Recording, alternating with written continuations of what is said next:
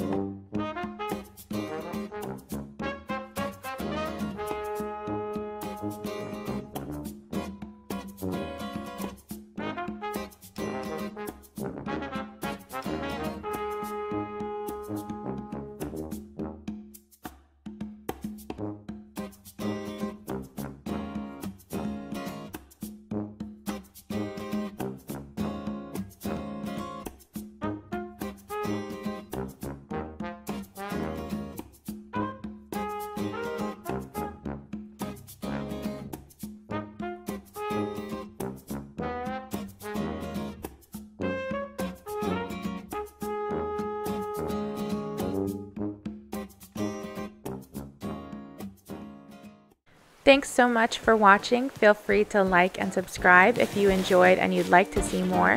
Follow me on Twitter at Pocket of Fish, and until next time, I'll see you later.